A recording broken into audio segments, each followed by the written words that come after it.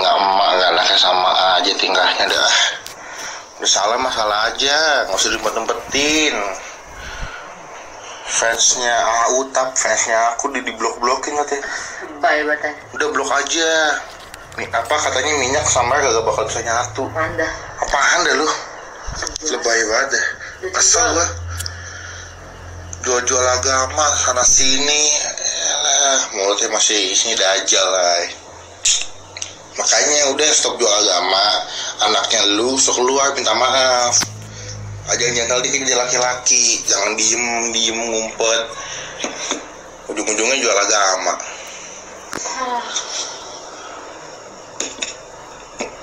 Makanya udah cepetan nongol. Dari kemarin kan jual-jual agama tapi kalian bisa lihat kan di grup whatsappnya aja ngomongnya kayak gitu gue makanya tuh kesal gue gue sebetulnya nggak lebih ke masalah yang masalah-masalah cebahannya. Cuma gue lebih ke masalahnya kenapa sih mesti jual-jual agama menjual konten agama gitu loh dalam kehidupan kalian gitu. Padahal kenyataannya kehidupan kalian juga jauh dari cermin kehidupan Tuhan gitu loh. Ngapain gitu loh?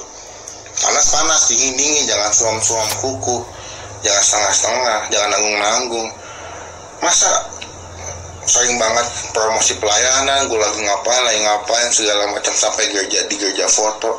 Tapi buktinya di gereja WhatsApp ngomong kayak begitu. Buat fashion autak diblokir aja. Buat apa? Lu mau ngapain? Gitu loh. Udah tua malah ngurusin masalah kayak begini.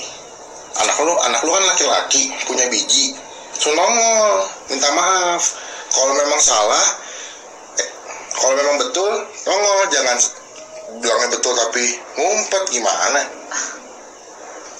Punya biji katanya laki-laki katanya alpha male ya nggak? Cailah. Katanya alpha male. tapi kira salah ngumpet. Tunjukin kalau laki-laki berani karena betul takut karena salah. Kalau lu diem lu ngumpet berarti lu salah.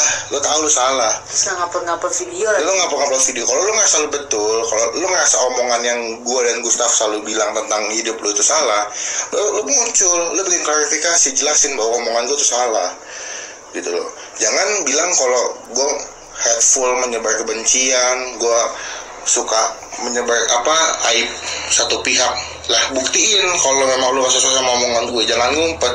Kalau lu ngumpet kalau lu diem tuh lu ketahuan lu salah yakin gue.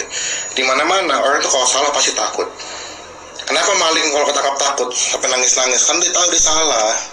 Makanya maling ya maling itu ada pernah mau ngaku. Karena kalau maling ngaku itu penjara akan penuh. Nggak akan gunanya ada polisi. Kalau maling abis maling tiba-tiba ngaku polisi nggak akan capek-capek buat sampai tembak-tembakan buat dapetin maling.